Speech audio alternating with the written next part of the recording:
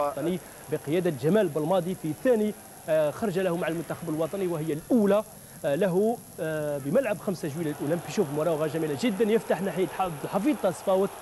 سوء الحظ هنا ما حلفش أو الحظ ما حلفش المنتخب الوطني وهدافه ب 31 إصابة في تاريخه تاريخ مشاركته مع المنتخب الوطني. عبد الحفيظ تصفاوت.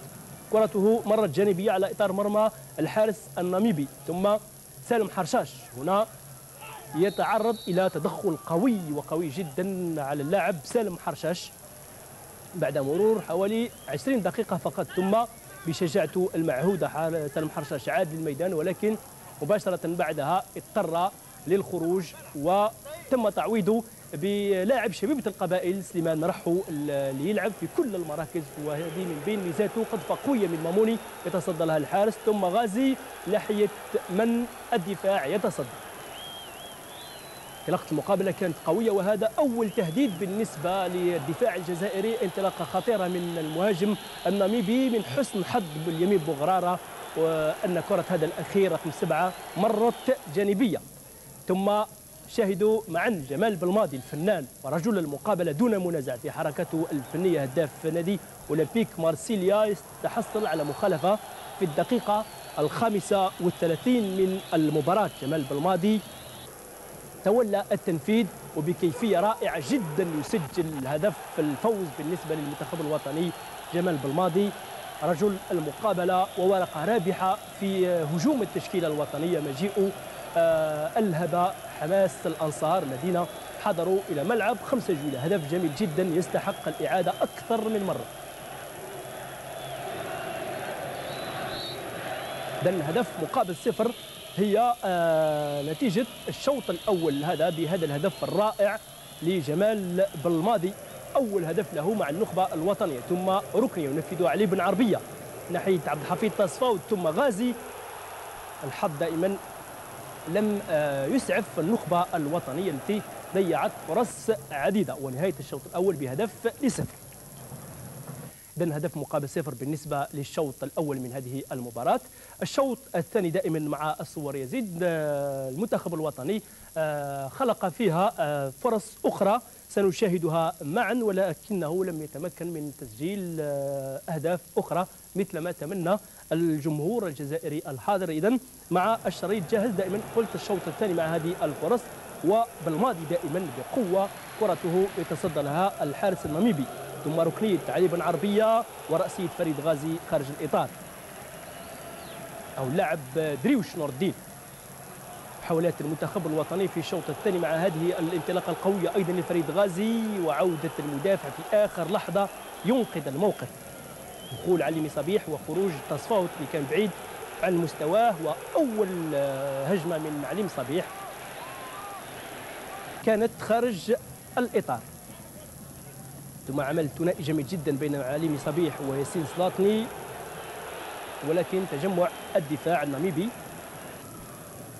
وآخر الفرص بالنسبة للمنتخب الوطني الذي آه لم يتمكن من إضافة هدف ثاني. المهم هدف أول بالنسبة للمنتخب الوطني. هذه القذفة القوية من فريد غازي ولا لم تأتي بجديد. هدف مقابل صفر هي النتيجة النهائية لهذه المباراة بين المنتخبين الجزائري والناميبي. أول انتصار قلت إذا بالنسبة لمنتخبنا الوطني في إطار تصفيات كأس العالم المجموعة الثالثة. ونستمع لانطباعات التي أو للانطباعات التي رصدها لنا الزميل محمد جمال مع عبد الغني الجدوي جمال بالماضي رجل المقابلة وأيضا علي آه، مصابيح. نستمع إليهم في هذا الشريط. والبداية قلت بالمدرب الوطني عبد الغني جدوي. جو سوي ساتيسفي من النتيجه تاع تاع اليوم المقابله تاع اليوم اللاعبين اللاعبين داروا مدوا لو ماكسيموم devant فريق ناميبيان كي كي تي كي تي سيت اون بون ايكيب ولوبجيكتيف تاعنا سي سورتو سي سورتو سيتي لا فيكتوار ان شاء الله يا دوت فيكتوار ميم 1 0 نكون et l'entraîneur La victoire est là, c'est ce qu'on attendait. On avait dit que, que ça allait être difficile. On avait une bonne première mi-temps, une deuxième mi-temps un peu moins bonne. Mais le résultat est là, c'est le plus important. Dans ce genre de compétition, il faut gagner, il faut prendre 3 points. C'est ce qu'on a fait aujourd'hui, c'est bien. Satisfait de votre rendement personnel On va parler d'équipe, on va parler d'équipe, c'est bien, on a gagné, c'est tout, c'est le plus important.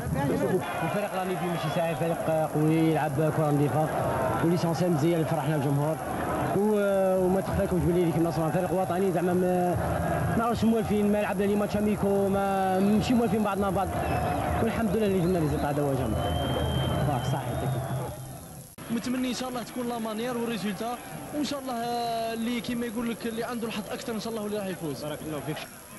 Il faut tuer le match, il faut, arriver à marquer un deuxième but et puis un troisième pour se mettre complètement, complètement à l'abri. On a bien entamé le match, bon, on a une équipe euh, solide devant nous, on a fait le plus dur marqué. Maintenant j'espère que on va continuer à jouer de l'avant en deuxième mi-temps et marquer le deuxième but qui nous libérera complètement. C'est vrai, ça a été difficile. Mais bon, là pour le moment, on cherche les résultats. On cherche les trois points. On a gagné, on est content. فريد آه، واش تعلق على اللقاء هذا؟ كيما شفتوا اللقاء؟ كيما نقولوا راه كان تري ديفيسيل بور نو وليسونسيال درناه حققنا لي 3 بوان هذوما الحمد لله ان شاء الله نكملوا في هاد كيما نقولوا لا سيري تاع لي فيكتوار هذوما وباش نتاهلوا لي دو فاز ان شاء الله ان شاء الله بارك Ben, je pense qu'on avait une bonne première mi-temps, euh, une deuxième mi-temps un peu moins bonne. Non, on a eu beaucoup d'occasions, on les a pas mises au fond. Dans ce genre de compétition, il faut les mettre au fond parce que c'est c'est dangereux. On joue tout le long du match avec euh, le couteau sous la gorge. Mais bon, on va se contenter de, de ce qu'on a aujourd'hui. On a gagné à 3 points. Dans, des matchs comme, dans, des- dans cette compétition, c'est ce qu'il faut faire. Belmadi, l'attaque elle était très percutante mais elle a manqué de réussite. C'est dû à quoi selon vous Tout simplement un manque de peut-être euh, un manque de chance. Et euh, ben, Inch'Allah, euh, on a vu des- des- le plus important, c'est qu'on a vu une cohésion entre les attaquants dans toute cette équipe. Farid Ghazi, A- Abdallah Fita Saoud, Ali euh, Messabier quand il est rentré, tous ont apporté euh, un grand plus à cette équipe nationale. معذرة لكم كان هذا ما أحاط بالله ويطلعوا مليح ويحطوا مليح كم كيف كيف كاين انسجام انسجام كاين انسجام كاين آه، هما شبان صغار وراك شفت آه، يلعبوا. أنا نظن باللي آه، آه، إحنا ها واش خصناهم هذا الفريق تاعهم تاع الناميبي. آه، باينين باللي فريق آه، متكامل. ومتعارفين كان بإمكاننا التسجيل على الفريق الجزائري لسوء الحظ لم نتمكن من ذلك. فريقنا شاب ويفتقر إلى التجربة. الفريق الجزائري لم يظهر بالوجه المنتظر. حيث لم يكن منسجما في خطوطه الثلاثة إلى أنني أهنئهم بالفوز. في مرحلة العودة سنخلق لهم صعوبة كبيرة ونفوز عليهم بسهولة. وهذا وعد مني.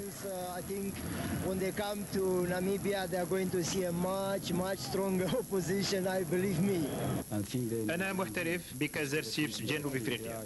لاعب خط الوسط الجزائري تمكن من بناء بعض الهجومات لكن الهجوم الجزائري عجز من تحويلها إلى أهداف.